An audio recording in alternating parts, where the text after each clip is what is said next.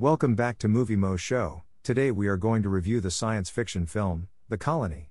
If you like our content, don't forget to like and subscribe. We post multiple times daily. Spoilers ahead.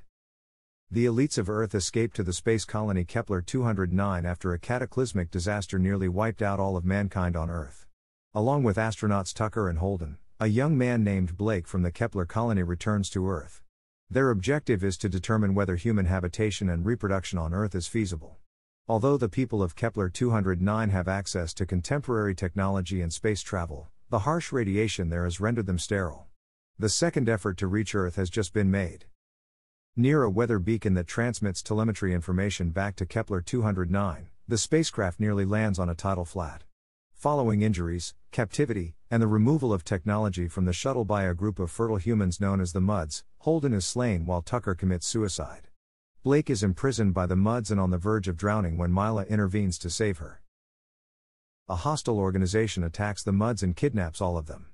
They are transferred to a cargo ship that is elevated above the frequently occurring storms and floods.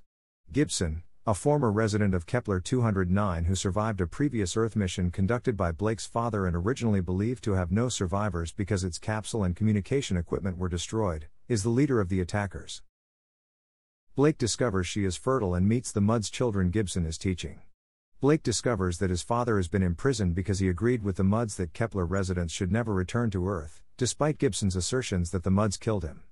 Blake learns the girls are being imprisoned for Gibson's future breeding plans after a brief reunion.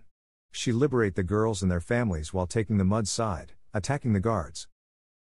She tries to stop the transmission of news from Earth to Kepler 209, but Gibson sends the information. Blake nearly drowns herself when she strangles and drowns Gibson, but Malia's mother saves her and revives her. Blake rejoins the Muds with her father, and the two travel in a tugboat. A settlement on the tide flats and some kids playing are shown in the final scene. Thank you for watching and don't forget to like and subscribe.